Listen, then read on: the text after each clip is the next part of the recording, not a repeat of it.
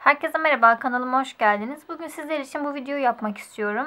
Bugün Google Essence'den e, bir tane posta aldım. E, bu yani e, artık ödemelerimin bana ulaşabileceği anlamına geliyor. Şu şekilde bir posta ile geliyor. Kare bir şey, zarf. Burada nereden geldiği yazıyor. Şöyle. Nereden geliyormuş? Fransa'dan, Paris'ten geliyormuş. Bu şekilde nereden geldiğine dair bir adres yazıyor burada. Burada Google'ın kendi şeyi var, amblemi var. Ee, şurada benim adım yazıyor Büşra Aşık. Onun altında benim ev adresim yazıyor ki ev adresini doğrulamak için zaten geliyor.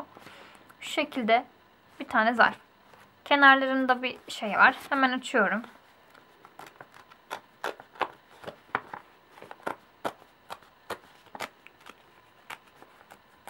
Ee, bunun bana ulaşması şöyle oldu. Tam e, zaten 2 ila 4 hafta içinde size ulaşır diyor hesabınızda. Aynen tam bir ay içinde elime ulaştı. Diğer ayın 8'inde bana gönderdiklerini yazmışlardı. Bu ayın tam bugün 9'unda da elime ulaştı. Pardon. Şöyle açtım. Bu şekilde. Şöyle tabi açıyorum. Burada bir tane pin var. Pini kapatıyorum şöyle. Ee, Google AdSense kişilik kimlik numaranızı yazıyor. Pin gönderiyorlar.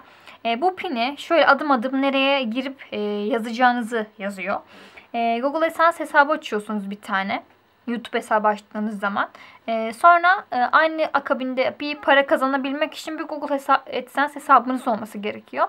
Bunu da açıyorsunuz. Sonra size işte doldurmanız gereken şeyler veriyor. Hesap numarası veriyor. E, ondan sonra adresinizi doğruluyorsunuz. İşte alan kodunuzu giriyorsunuz. Telefon numaranızı falan filan. Onları hep dolduruyorsunuz. Sonra belli bir YouTube'da izlenme e, yap, olduğu zaman yani e, nasıl diyeyim size mesela 70 bin 80 bin gibi bir şey. Sonra e, diyor ki hani artık e, şeyi onaylayabiliriz yani hesabınızı onaylayabiliriz biz sizin yani artık paranızı alabilirsiniz demek istiyor.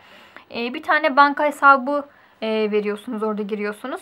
E, sizi doğrulamak için ufak bir kaç dolardı?